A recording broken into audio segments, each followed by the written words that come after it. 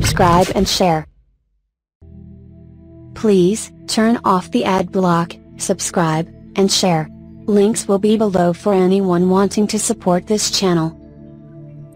Hello everybody, my name is Craig Bennett and I'm the founder and owner of Tech Reviews and Help and today we are going to get into the maps within Windows 10. Now Windows 10 is currently in the beta version and the full release be out in a month or two and if things are massively different between now and then for this topic I'll leave outdated in the title and I will put a link to the updated video within the description.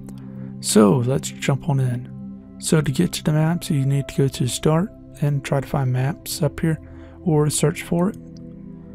And this, I'm going to skip a lot of features in here. I'm just going to really focus on the settings portion of it because it's very important to note this.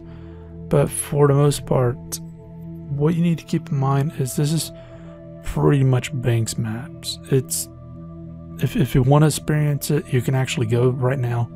If, if Windows 10 is not already out, you can go right now, go to Bing.com, go to its maps, and there you go. So all the features are pretty much identical in that aspect.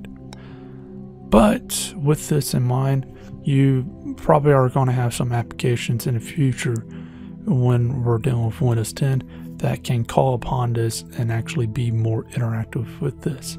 So it's worthwhile having this in here. But anyways, let's jump on in and we can go to account and if we're signed in, then we can mark where's our home and where's some other places. But let's go into settings and within settings, we can set our units, preferred driving or preferred direction type, driving, trans, walking, offline maps, which I'll show you in a second, and search history, turn by turn navigation, day or night, background, privacy, and, and so on. Let's go into the offline maps and it takes us to settings. So with the offline maps, what we have here is the actual maps where we can download them. And taking a look at it real quick, the maps can leave a notification in here. In a previous video that I made, we got into notifications and that's what it looks like. Just doing a side note. So as far as the down, download maps, we can select that so we can have offline use. Where is this going to come and play? Well, let's say that we're in a city that we're not familiar with and we need to find our way around and we have our laptop or tablet or whatever with Windows 10, we can actually take this and download a map before we get to the unknown location. And that way we have a map on hand. But let's go through this. And on offline map, go to download maps. Select what country. Select, I mean, select the area, select country, and select the state for here. And for this, I'm going to select New York, just because.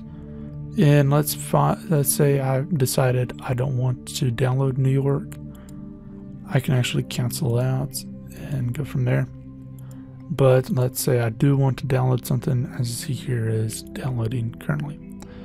Now you can have a meter connection this may come in play when you have cellular type of data.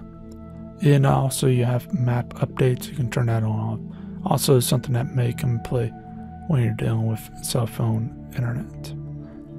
But as far as that goes, that's pretty much about it. Uh, the rest of this is pretty much tested out on Bing. That's the best thing I could tell you is go on Bing and just play with it you have 3D maps, you have favorites, directions, searches, and so on. I mean, it's it's very similar to the one on Bing, if not exact.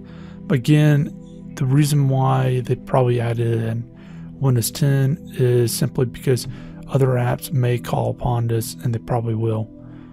It'll kind of like how it does in Android, where an application may call upon the Google Maps, and when I make an application for Android, I can actually tell it to put in this address and stuff already in Google Maps so the person doesn't have to worry about and all they have to hit is get directions. But anyways, as far as that goes, if uh, this has helped you out, please leave a like, subscribe, share. If this has not helped you out, go ahead and leave a dislike and tell me why so I can fix it in future videos. But also, please feel free to follow us on Twitter so you know when the newest videos come out. Also, feel free to check out our other videos. But if you have any questions, leave that below in the comment section and I'll get to it as quickly as possible. If you want me to make a video on anything else, please feel free to leave that below in the comment section also. Also, if you have any comments or anything in general, please leave that in the comment section and I'll get to it as quickly as possible. Again, this has been Craig Bennett, founder of Tech Reviews and Help. I hope you have a great day.